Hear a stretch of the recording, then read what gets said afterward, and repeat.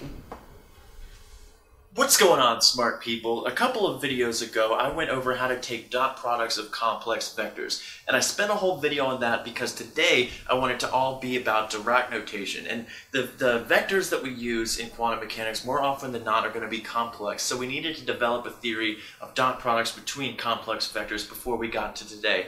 But my goal for today is to take familiar concepts of regular vectors, like how they can be expressed as linear combinations of their basis vectors, and how to pick out components of those vectors, and learn how to translate that into Dirac notation. And then we're going to take it one step further and develop a completeness relation in Dirac notation. But let's get started. Let's get ready to Dirac and roll.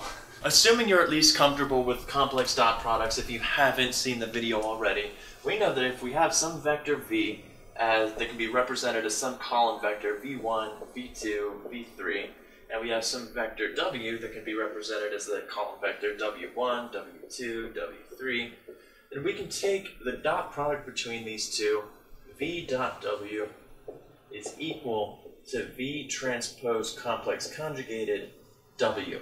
And we have a name for this kind of vector wherever we take the conjugate transpose, the complex conjugate transpose. So v star transpose is defined as V dagger. And this dagger means that you're taking what's known as the Hermitian conjugate. What's the difference between a Hermitian conjugate and a regular vector? Well, the regular vector becomes transposed, so a column vector becomes a row vector.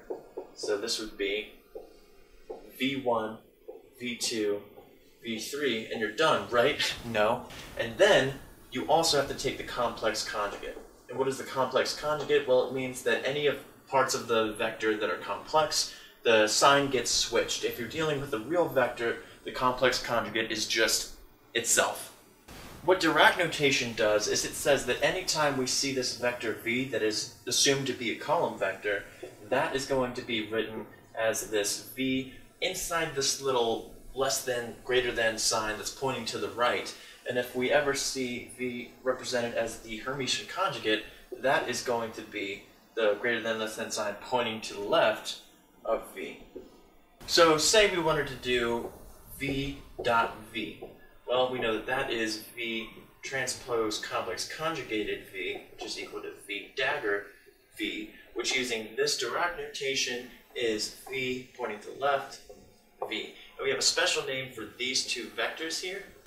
This is called a bra vector wherever you have the arrow pointing to the left. Then we have this little column separating the two. And then we have the ket vector pointing to the right. So when you put it together, we get a bracket. So the thing to take away from this so far is if you have some vector that's represented by either a bra or a ket, the ket vector is always going to be the column vector, the normal one, and the bra is going to be the normal one transpose complex conjugated. You with me so far?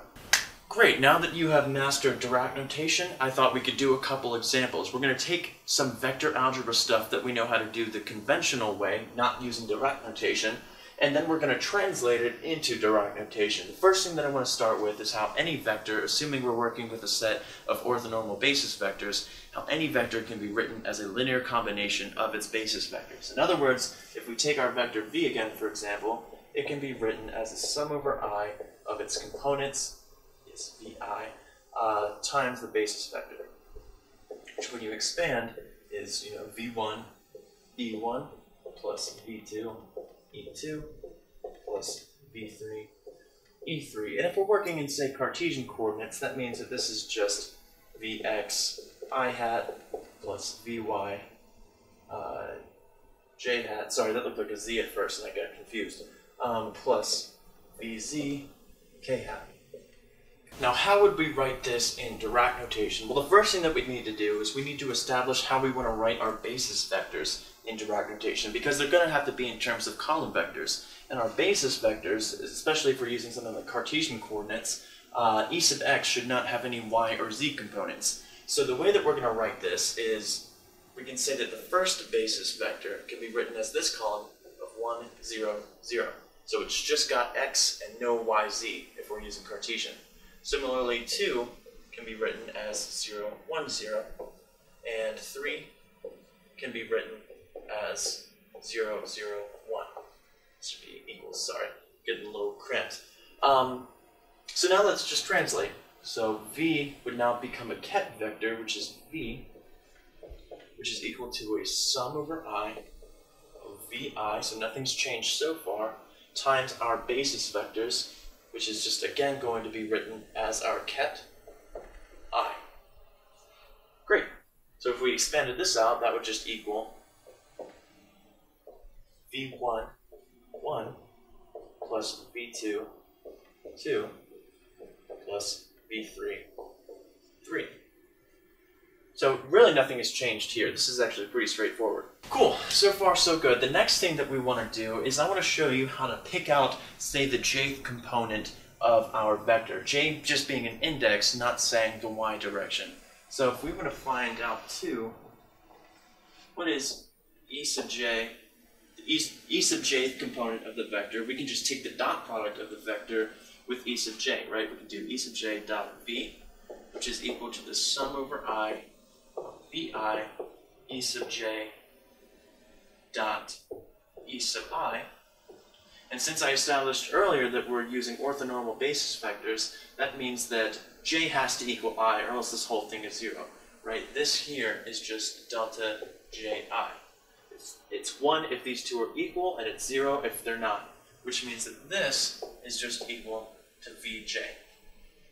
So for example, for example, if we want to do, say, e sub x dot v, that is equal to the sum over i of vi e sub x dot e sub i, which is equal to delta xi, so it's, it's 1 if x equals i, and it's 0 if they're not, which means that this is equal to vx.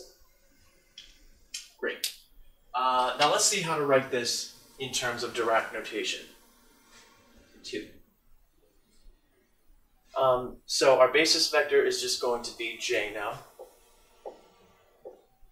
v. So we're using our jth basis vector. And then that is equal to the sum over i of vi j i. Which again is just going to spit out a Kronecker delta. If this is continuous, then it would be a delta function, but we're assuming that it's discrete right now. So that's delta ji, which is equal to vj. Perfect. One kind of important thing to take away from this is the ket vectors were equal to these column vectors here, right? But we're taking the conjugate transpose of, of our basis vector. So it's going to become a row vector here, and it's complex conjugated. But since these are completely real, the complex conjugate is just itself still. Now the last thing that I want to do, I'm not going to do on this side because it's kind of hard to tell which one here we'd be referring to as the row and which one would be the column. So I'm going to do it on this side further, and we're going to develop our completeness relation.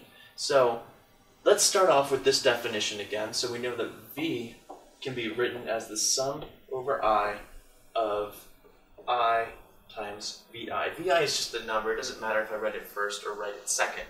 That means that I can take the inner product of the ith basis vector with V to give me VI. Right? Because the inner product of I with itself is just going to be 1 which means that VI is the only thing that survives. Now let's take this definition and substitute it back into that equation. So we get that V is equal to the sum over I of I with VI now being this, which is equal to sum over I of I, I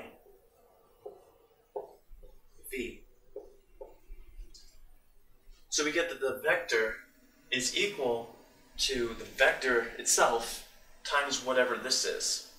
And what is this is what I want to know. It, I mean, if it's equal to itself times something, then that has to be 1, right? Well, kind of. Let's let's find out what this is. Well, let, first let's see. Let's divide this up real quick. what I want to know is what does this kind of product even mean? So let's go ahead and just take 1, 1 for example. Let's do, what is 1, 1? Well, that's going to be equal to the column vector 1, 0, 0 times the row vector 1, 0, 0. I have a tendency to write these ones larger, and in the last video, it looked like a column vector, and I kept it as one, which was a mistake in the last video, but it was supposed to be represented this way. And someone pointed it out, so thank you for that. And this is going to be equal to now a square matrix. So it's going to be the first times the first, so it's going to be 1. The first times the second, which is going to be a 0. The first times the third, which is going to be a 0. The second times the first, 0, and so on. You can carry that out and see that that's going to result in this square matrix. Similarly, we do the second and the second, that's equal to 0, 1, 0, 0, 1, 0, which is equal to another square matrix. And if you carry out the algebra, it's going to be 0, 0, 0, 0, 1, 0, 0, 0, 0. And lastly, we can take 3 to equal 0, 0, 1, 0, 0, 1, which is going to give us another square matrix 0, 0, 0, 0, 0, 0, 0, 0, 1. Fantastic. And then this is saying that we want to add all of these up. So we want to sum these three matrices together. And when we do that, what we get is that when we sum this up, sum over i, i, i, that's going to give us just the identity matrix. Which is why I said it's one, sort of. So what we've done here is we've established a completeness relation that the sum over i of this, which is known as the outer product, is equal to the identity matrix. And this whole relationship just would have been a little bit weird to establish in the normal notation. Instead, we would have had to do, instead of v dagger, uh, let's call it w, it would go to uh, v w dagger. Or sometimes you might see the outer product denoted as v and then cross in a circle times w. And at least in my experience in quantum mechanics, it's more common to use the outer product in Dirac notation than it is this way. Now I should say that this video on Dirac notation is by no means complete. There's plenty more that you can learn to do with it, and I might get into the more advanced stuff in a future video, but I thought that this covered some of the basic stuff, and what it was supposed to do was just serve as a little mini translator from regular notation into Dirac notation. We can get into the fancy stuff later, but I hope you guys found this video helpful and a little bit useful. Let me know in the comments section if you did, and I'll see you guys there.